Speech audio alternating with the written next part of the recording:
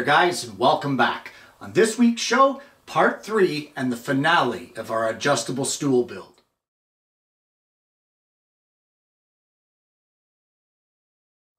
Well guys, we're in the home stretch now and we've made some really great progress along the way. So let's not waste any more time talking, let's get straight to the woodworking. Well, the next thing that we want to do is give all of these legs a good sanding. And as well, I'd like to take a 1 8 inch round over to all of our curved edges. I want to leave the shoulders uh, up here at the top of the legs intact with their sharp, crisp edges. And I also want to leave the bottom of the foot intact with sharp, crisp, crisp edges. But these curves, I want to soften them a bit with a 1 8 round over. Well, the up and down adjustment of this stool is accomplished by a threaded dowel and our support pieces that hold our leg together, they will also be tapped with the thread that will match the dowel. And that's where we're going to start. We're going to start by drilling our holes and tapping our threads into our support pieces, both top and bottom.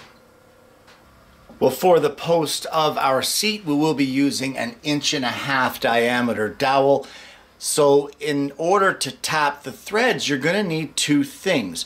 You're going to need a hole that is one eighth of an inch shy of your dowel dimension. In this case, inch and a half dowel minus one eighth. We're gonna need a one and three eighths of an inch diameter hole.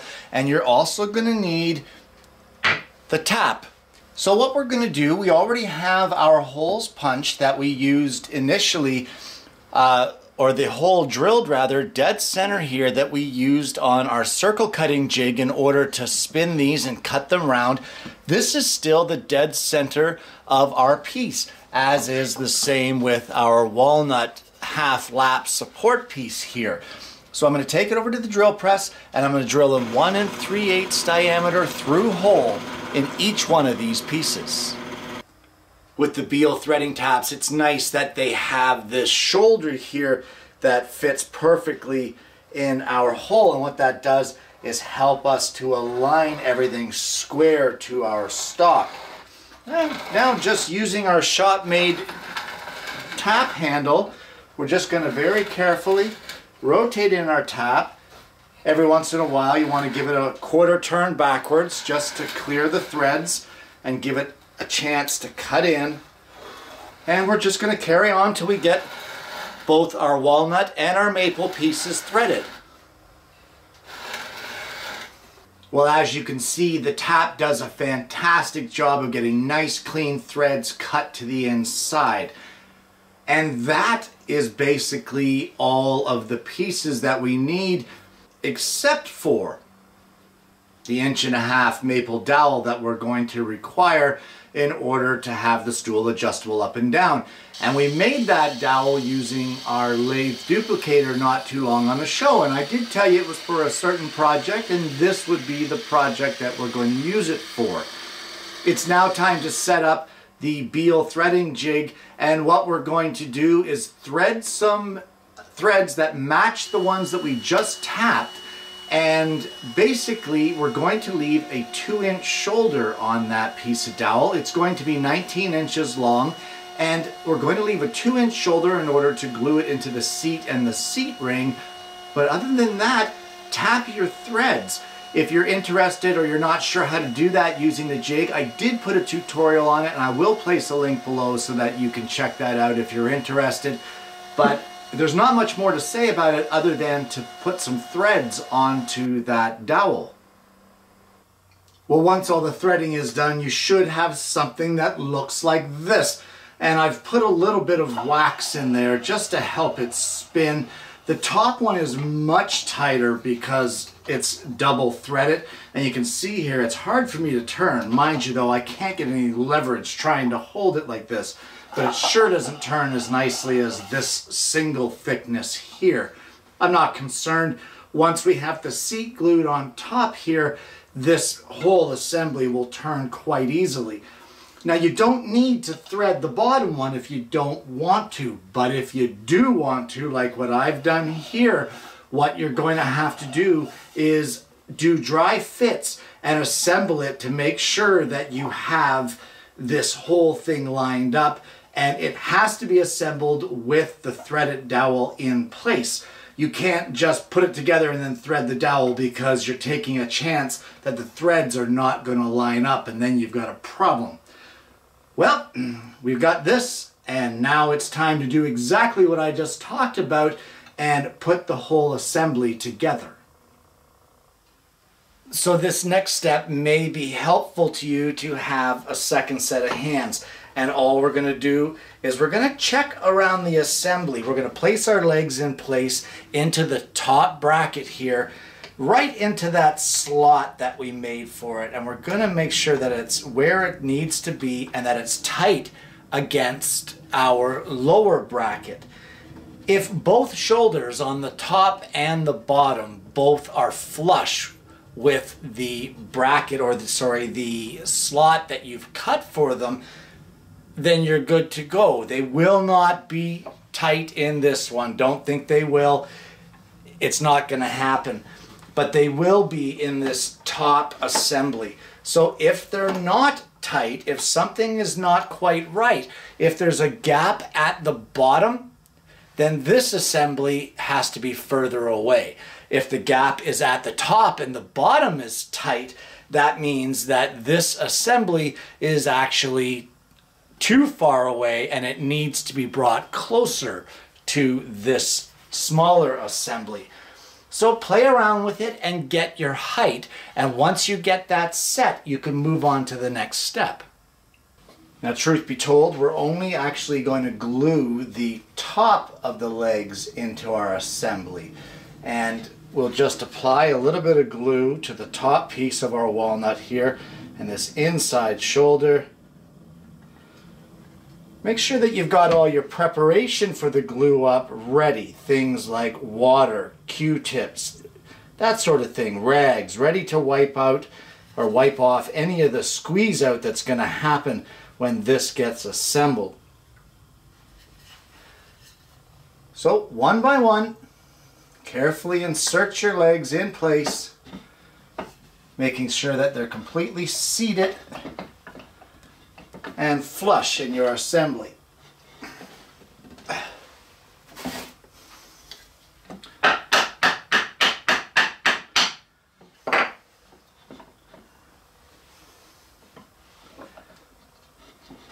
And with that one in place now, we'll just clean up the squeeze out and move on to the next one.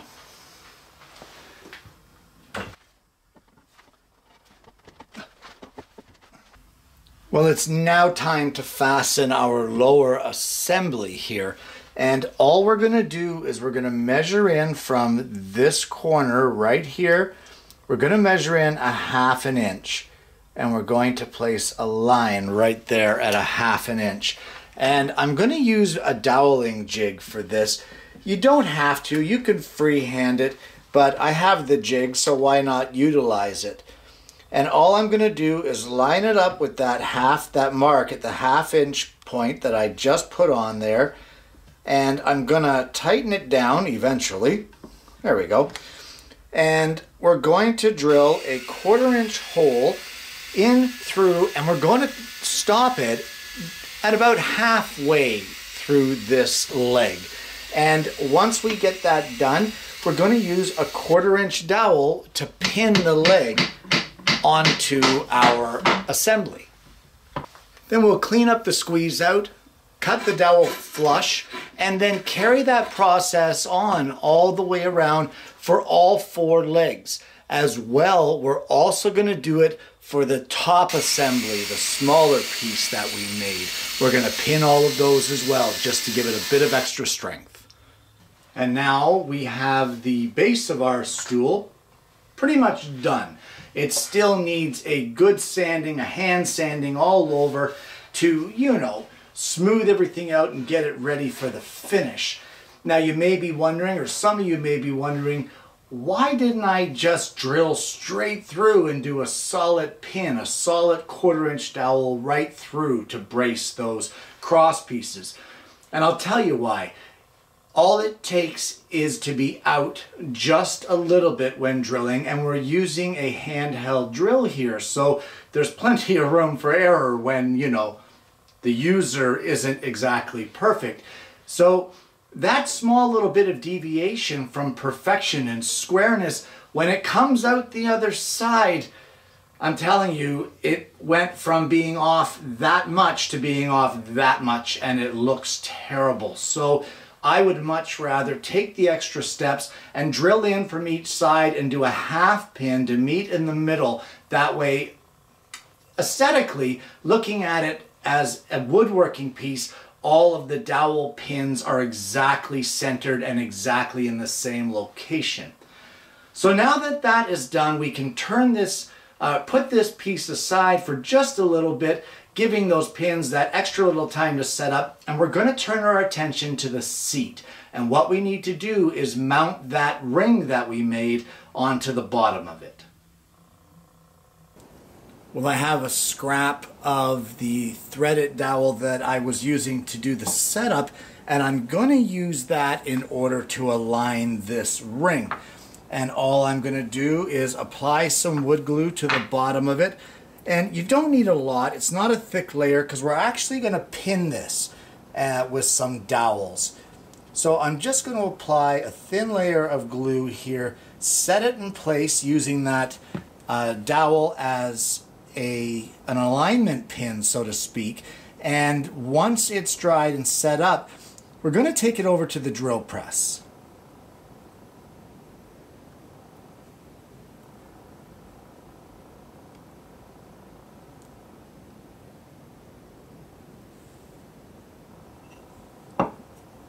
So I've placed some marks on here that I want to drill and they're basically one inch out from the center. I'm going to drill a 3 8 diameter hole straight down through this ring and halfway into the seat base and I'm going to glue in a 3 8 inch diameter dowel.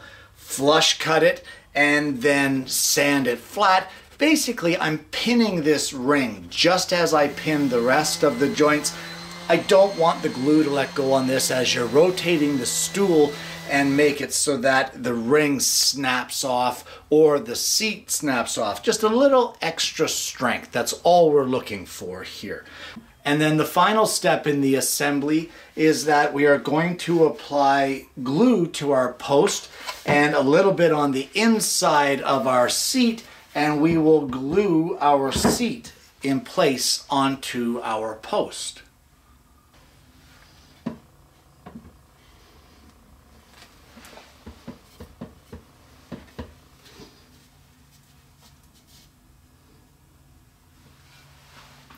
And as always, don't forget to clean up your squeeze out. And there you have it. An adjustable maple walnut stool Guys, this project has been a load of fun and a ton of different great woodworking processes here for you to try. Or if you've already tried them, then a few of them for you to master. Everything here from template making and routing with the templates right down to duplication jigs for the lathe to make a dowel and then of course we have the Beall wood threader to make the adjustable part. We've got half lap joints, we've got dowel pins, we've got a circle cutting jig. We have got pretty much everything here and it was a ton of fun. Guys, an absolute great way to spend a weekend out in the shop working on this and I might put a couple rubber feet on this thing just to keep it off of the shop floor because that's what it was made for. It was made to use out here in the shop. But I mean, this thing's absolutely gorgeous. I love it. Almost makes me wish I had a piano. Maybe I should build one. That ain't happening. Guys, I want to thank you for tuning in this week. This build has been a blast and I hope that you've enjoyed it too.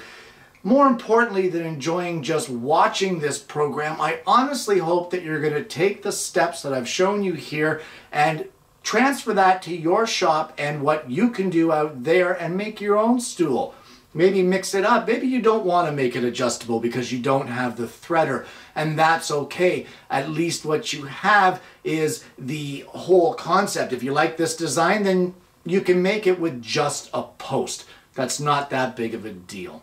If you are going to turn your own maple dowel for this, my suggestion is if you're going to be using the Beall threader, buy some cheap inch and a half poplar dowel at your local big box store and use that for the setup of the jig so you're not wasting your maple dowel.